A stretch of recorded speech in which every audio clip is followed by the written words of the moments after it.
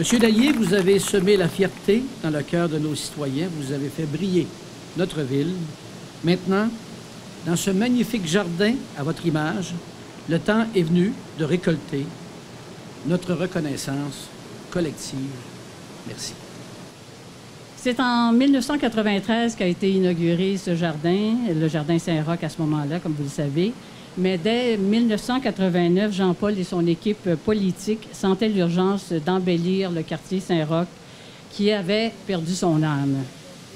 Sa vision de l'avenir du quartier devait commencer par un geste concret et spectaculaire en élaborant les plans du Jardin Saint-Roch. Qualifié à ce moment-là de pelleteux de nuages, Claude Quentin est là pour en témoigner encore, les membres de son équipe ont persévéré, convaincus que cette stratégie d'action n'était réalisable qu'avec l'appui et la participation de la population. Avec le Jardin Saint-Roch, ils ont greffé un poumon à ce quartier qui en avait bien besoin. 14 ans plus tard, force est de constater qu'ils ont réussi leur pari.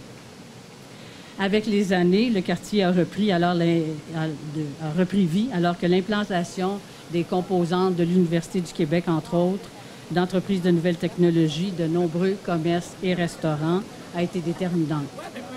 Ils sont tous devenus, au fil des ans, des acteurs importants de la relance du centre-ville. Je souhaite également qu'un jour, les jumeaux de Marc-Antoine et Stéphanie, Laurent et Arnaud, nés en juin, les jumeaux qui n'auront pas le plaisir, le bonheur de connaître leur grand-père, qui aurait été tellement fier d'eux. Mais j'espère qu'ils viendront pique-niquer ici avec leurs grandes sœurs, leurs grands frères, leurs cousins, leurs cousines, leurs parents.